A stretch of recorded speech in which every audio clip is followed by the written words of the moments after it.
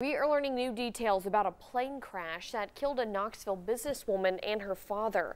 That plane crashed earlier this month in Middle Tennessee. Here are three things to know from a new report that NTSB released today.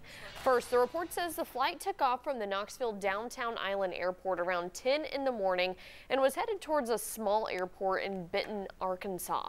Jenny Blaylock was flying that plane and her father, James Blaylock, was a passenger. Number two, about an hour into that flight, the report says the airplane started to descend rapidly before air traffic control lost contact with the pilot and the passenger. It says during the last several seconds of that flight, the aircraft was falling at a rate of more than 11,000 feet per minute.